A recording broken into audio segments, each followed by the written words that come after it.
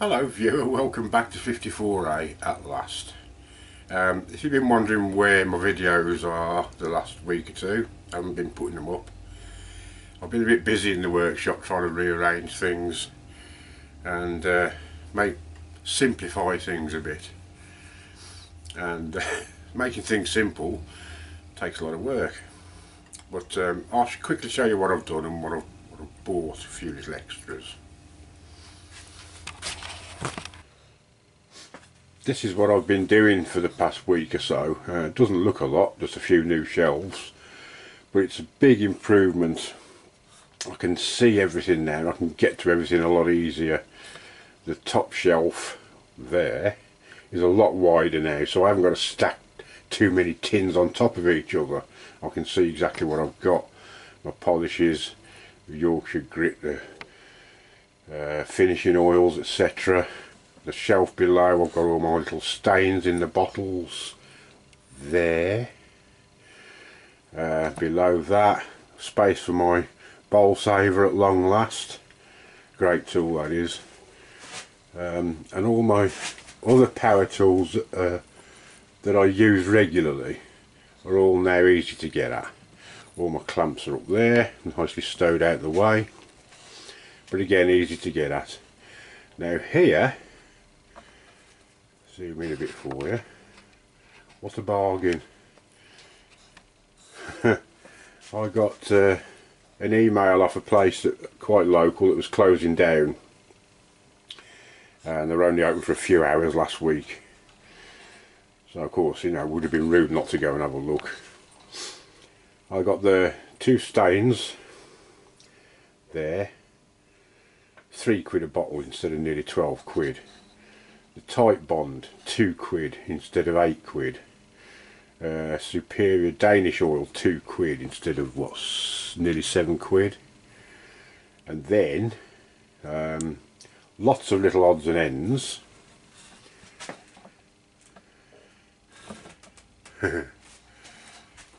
executive pen kits uh, three for 14 quid now they're about eight or nine quid each at least uh, a little goblet polishing mop salt and pepper kit a couple of quid each. I've also bought some uh, thread chasers. On, get there for you. 15 quid for thread crown thread chasers and 10 quid for a little 3 8 round skew crown tools again. The whole lot there that you see there 60 quid so I can't complain of that can I so it would have been rude not to have bought something, especially at those prices. I don't think it'll ever happen again. They'll be way gone by now. Right, on to the project. Um, won't be any turning involved in this. It's um, an addition to the lathe I'm hoping to make. Uh, riser blocks. Uh, a few weeks ago I did a rather large um, hang on, I'll see if I've still got it. This thing, right, there you go. 18 inch diameter platter which I had to swing the headstock round make a real temporary tool rest which wasn't too successful so I thought if ever I do a larger piece than the lathe will take. I don't really want to make a freestanding tool rest. I haven't got the room to store it. It'd just be in the way because it's going to get used very rarely. And I keep moving it around and thinking, well, where can I put this? So I'm going to make some riser blocks instead. Now, probably about 50% if not more of the lathes that everybody uses are this lathe. This is the Axminster version. But most people, or a lot of people, they've got them in different colours with different badges on. Delta, SIP, etc. Drapers, I think they do one. All different makes, all over the world. They're basically this lathe, different colour, different badge on. So, that's my block of wood I'm going to use. I'm going to make a riser block for the headstock and a riser block for the tailstock.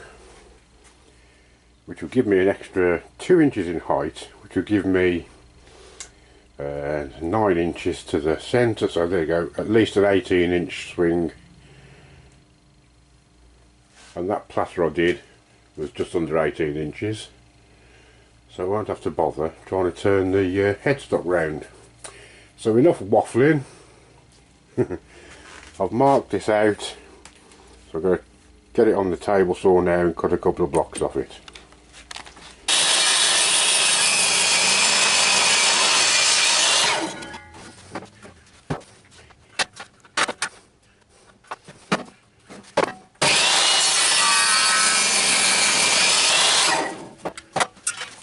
tailstock piece I'm going to concentrate on at the moment. So I want to replicate the lathe bed. So I just took a few measurements, scored a line there, and the same the other side.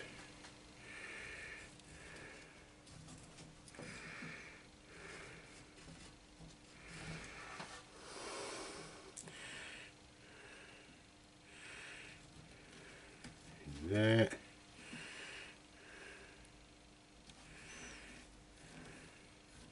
and there. That has got to be out and that's got to be cut out. You see that okay? Yep, there you go. Now there's ways you can do this. I've, I've got a router, I can't be bothered to get it all out, it's tucked away somewhere. So I'm just going to do it on the table saw, set the blade nice and narrow, do those two cuts, flip it round and take that longer cut off there and see what happens.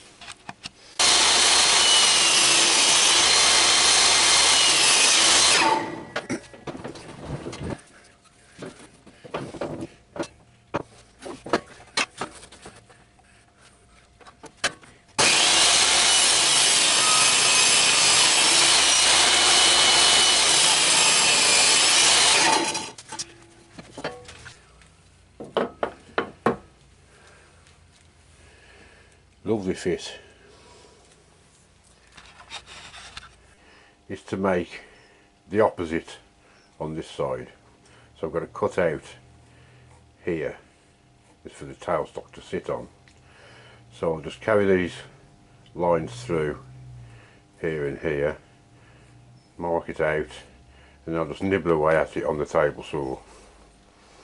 Now this is going to be difficult because I've just broke my tripod and uh, I can't hold it and measure everything and mark everything out at the same time until I've fathomed out where to put the camera.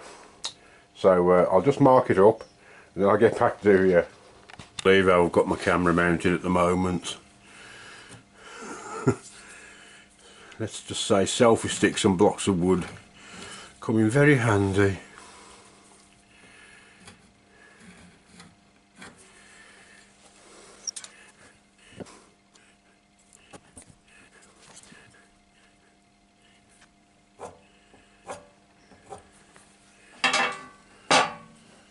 there we go. So I've got to cut that out.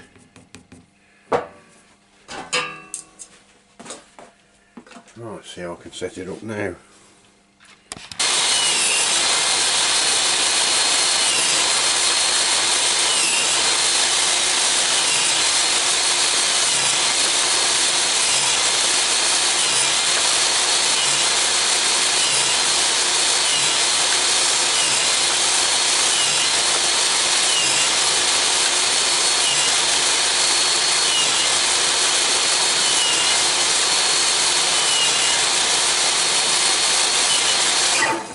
should okay. Right, with a bit of luck, this should fit on here. Very rare I manage to do things first time, but still, we'll try it. And that, wow, what a lovely fit. Beautiful.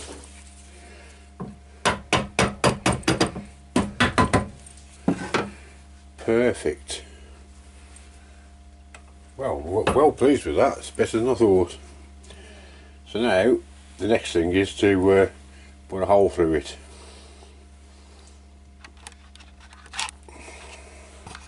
Hole's drilled. That was easy enough. I've also took a little bit off the uh, table saw again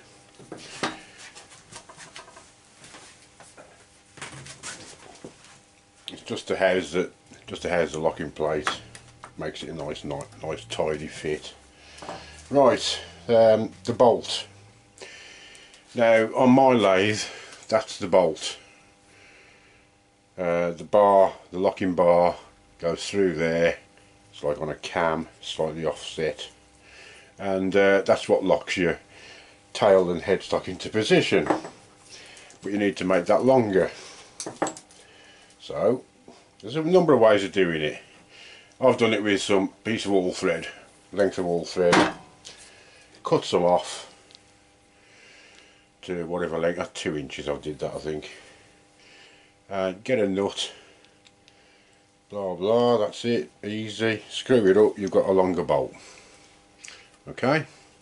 Now I would recommend that you use this um, bit of PTFE tape just to make sure it doesn't keep coming loose or some uh, thread lock anything like that.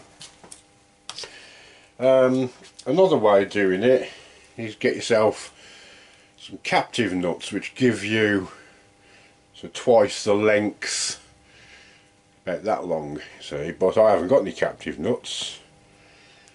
It's just to give it extra thread length to go in in each end. Uh, so you can get two of the ordinary nuts weld them together another way get yourself a bolt. That bolt weld the nut onto it. On goes your all thread. Choices loads of them so but I think the, the most straightforward way I'm just using the one nut together do it up. That'll do that's that's how long I want it job's are good one already finished the one for the headstock as you can see it's all on in position locked in very nicely and all I've got to do now I love this new tripod. Did I say I uh, had to nip out and buy a new one? The things we do for you. anyway, I've just got to assemble this back onto the tailstock now, which is there. And the job's done. I could be really fussy and plane it and paint it, and, but you know, it's it's just for a job at the end of the day. It's, it hasn't got to look decorative. You can do what you want with it. Pebble dash it if you want. So that's it, just got to assemble that now. Um, one quick thing, depends how high you're going, but your tool rest banjo, if you've only got a short stem on your, on your tool rests, it might not get up to the centre of your new height. So you may have to make a little riser block for your tool rest banjo as well. Same principle, just a lot smaller. hang on all assembled nicely on there got me 18 inch bowl plenty of food near, near enough an inch at the bottom there about three quarters of an inch. So well pleased with that. A little project that works very nicely. It's only a lump a couple of lumps of wood. Uh, a little bit of time cutting a piece of bar through. That, that's all it is really. Uh, yeah so onwards and upwards. See you soon for the next one everybody. Bye for now